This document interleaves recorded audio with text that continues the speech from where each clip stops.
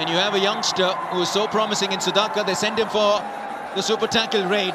Now the last one was an empty raid. Oh my word! Sudhakar!